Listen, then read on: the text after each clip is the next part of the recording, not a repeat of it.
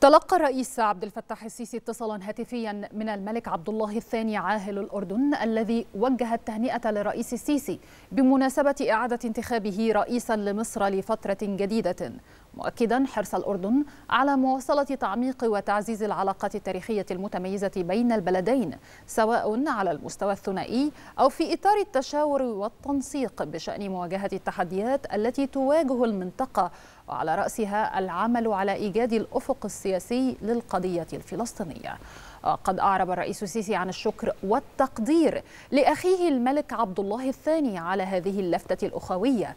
وثمن الرئيس السيسي ما تتسم به العلاقات بين مصر والأردن من قوة ورسوخ على المستويين الرسمي والشعبي. مؤكدا مواصلة مصر العمل على التسوية العادلة والشاملة للقضية الفلسطينية.